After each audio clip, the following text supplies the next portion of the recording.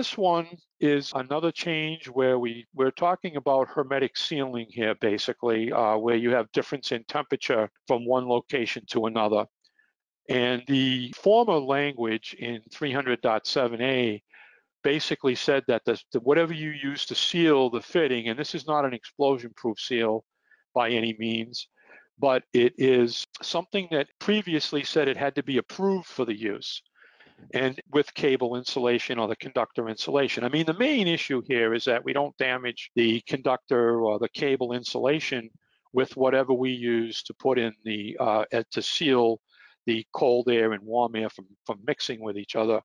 So they say identified for the use, which is more appropriate. For example, duct seal is just one product. There's several other ones out there that would be acceptable for that purpose. Uh, that is identified for use around conductors or, or, cable insulation. And what it really is looking at is, is not having somebody go down to a hardware store or a do-it-yourself store and pick up a can of uh, insulating foam or some type of uh, silicone sealant that doesn't uh, take into consideration the fact that it's going to be in contact with uh, the conductor insulation or, uh, or a non-metallic jacket of some sort. Generally, we're talking about conductor insulation in these cases. So in this illustration, well done by IAEI, uh, shows the, in this case, the raceway coming in from the outside where you've got the evaporator fans inside of a walk-in freezer, a refrigerator or chest uh, unit and or, or some type of unit uh, some that are accessible just from the front. And you've got a raceway coming in from either a warm to a cold area. Uh, of course, in my part of the country, up in the Northeast, you might almost have equal temperatures at certain times of the year in the winter. But nevertheless, it, it keeps uh, a separation between the warm and cold air, which uh, has a tendency to create condensation and bring introduce water into the equipment.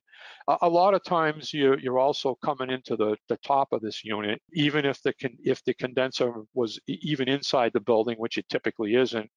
But if it happened to be even coming in through the top of the unit, down into these evaporator fans or the lighting, for example, within the cooler, if it's a walk-in type, is you're going to have also cold, uh, your mixed air of cold and warm air there. And a lot of times folks will just LB down into the top of the enclosure and fill the uh, LB with duct seal uh, where the part that goes down into the enclosure or some other approved sealant or uh, identified sealant. You know, the, the, the term approved in the National Electrical Code means acceptable to the authority having jurisdiction as it's defined in Article 100. So certainly saying that something that's identified to be in contact with the cable insulation or the conductor insulation, etc., uh, is much more appropriate for this section than referring it all back to the authority having jurisdiction.